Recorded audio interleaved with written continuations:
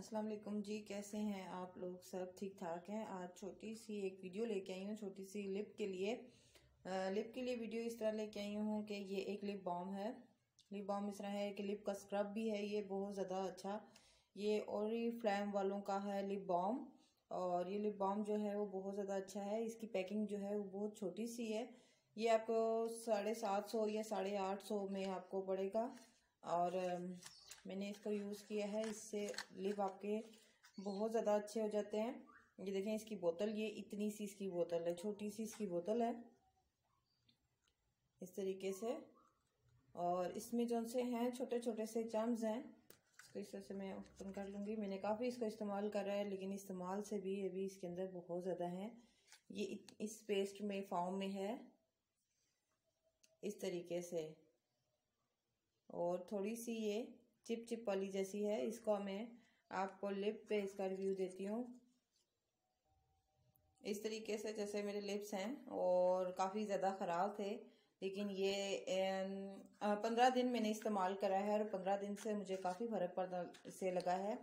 और हमने इसको इस तरीके से निकाल लेना है और ये देखें, ये लेके इसको इस तरीके से।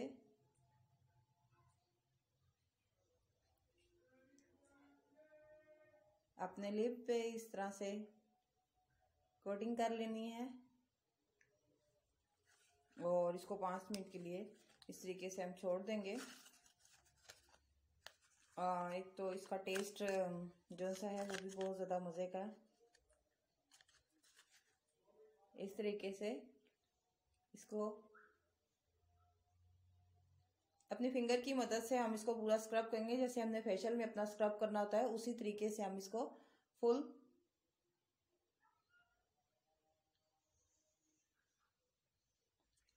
इसको स्क्रब देंगे, काफ़ी ज़्यादा मेरे जो ओंठ ख़राब थे, इससे काफ़ी ज़्यादा मेरे ओंठों में फ़र्क पड़ा है।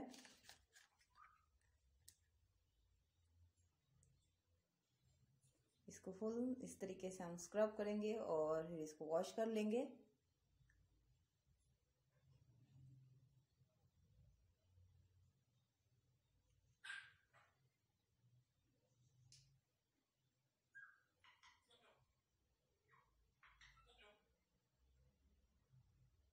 इस तरीके से इसको मैं वॉश करके आपको फिर दिखाती हूँ। हम्म, ये देखिए जी इससे जो सा है ये है इसका रिज़ल्ट आया है और ये देखें। ये बहुत जल्दी साफ़ सुथरे और इतनी अच्छी इसका रिज़ल्ट आता है कि आपके लिप जो है इतने सॉफ्ट हो जाते हैं और इसके थोड़े इस्तेमाल से पंद्रह दिन आपको इस्तेमाल करना है और पंद्रह दिन में आपको रिज़ल्ट मिल जाएगा। बहुत ज़्यादा अच्छा है। आप एक दफ़ा इसको यूज़ करें और यूज़ करके मुझे बताएँ कि आपको इसका रिज़ल्ट कैसा लगा। ये बहुत ज़्यादा अच्छा है लिप बाम जो है बहुत ही ज़्यादा अच्छा है। आप एक दफ़ा इसको इस्तेमाल करें और मुझे कमेंट्स करके ज़रूर बताएँ कि आपको ये कैसा लगा।